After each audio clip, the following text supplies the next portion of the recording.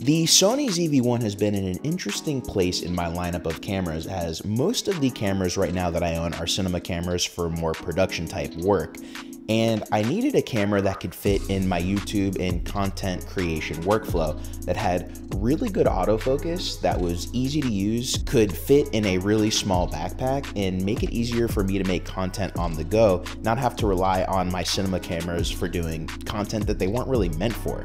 One of the problems though that I realized as I started using the Sony ZV-1 more, which had me looking for other options, was the battery life wasn't that great when I put something like a tripod on it, the battery door was blocked. At its widest focal length, it wasn't quite wide enough to get the exact framing that I would want all the time. So at first I started looking at other cameras like the Canon R6 that had the autofocus that I needed, but was a little bit overkill for a lot of the YouTube content I wanted to make with it. So then I circled back to the ZV-1 and I got this little setup right here that I actually purchased everything from Amazon that made this camera a lot more useful and I'm starting to make a lot more content with it, not just for this channel Reach Films, but for Jazz Is, also for my personal channel, it just makes this setup a lot more usable.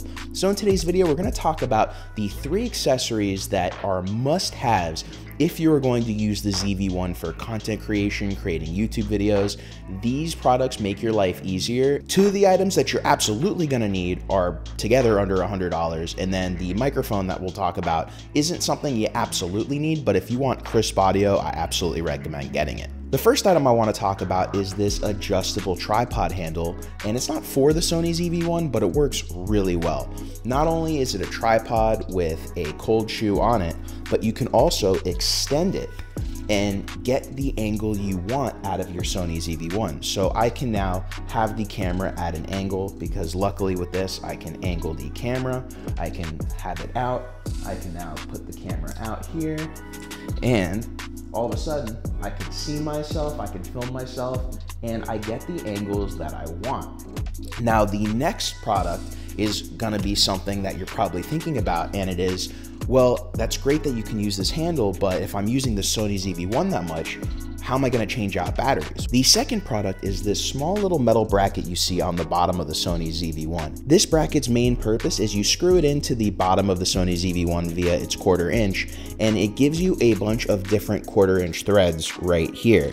And then by doing that, which you see it's mounted into the quarter inch thread right here, I can now open the battery slot whenever I need to and still have this on a tripod or have it on this tripod accessory and be able to switch out batteries whenever I need to. So I think having this bottom bracket is a must. This little bottom bracket right here is the most minimalist solution as you can see. And so it saves you a lot of weight and it keeps somewhat of the original form factor of the Sony ZV-1. So you're not adding weight, size, bulk to it. The ZV-1 also has a hot shoe mount up here and then this bracket does add an additional cold shoe on the bottom. This bracket I think is a must. It's only $20 and this handle is only $20 too. So both of these together are really cheap, which brings us to the last item. The reason I'm recommending a wireless transmitter is the fact that once you start having the ZV-1 a certain distance away from you, the internal audio quality isn't gonna be that great because the microphone is just right here on the top of the Sony ZV-1.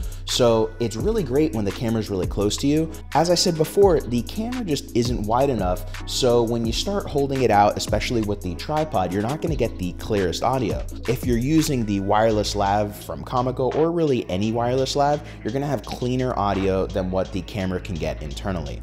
On top of that, if you're using something like a Comica XD Boom Pro or the new Rode Wireless Go 2s, the transmitters do have internal recordings, so you don't have to worry about if the wireless transmission drops out on these. You'll have the internal recording in your transmitters too, so you'll never have to worry about audio. The other thing too is if you start using the tripod handle as a tripod and you want to put the camera down somewhere, you could walk a good distance away and still get pristinely clean audio, and you won't be able to do that with the internal microphone. So those three accessories together are a really great kit to turn the Sony ZV-1 into a proper YouTube camera. I think for the price and the quality you get out of the Sony ZV-1, It's really unmatched, and that's why I really enjoy using it for YouTube. I can put it in my backpack with a really small red Komodo setup, and I could go out and I could film and I can have this to kind of capture my journey on the vlogging side of things without either having to use the red to do the vlogging, which is a real big pain, or have to go get a mirrorless camera, which although it is much smaller than the red Komodo or any of my cinema cameras, it's not gonna be as small as having a Sony ZV-1. If you have any questions about the accessories I went over today, please put them in the comments below. And if you got knowledge out of today's video, please make sure to hit that like, subscribe, and notification bell to keep up to date with the latest videos on the channel. Till next time, thank you for watching, everybody. My name is Geoff Fagien, and I will see you in the next video.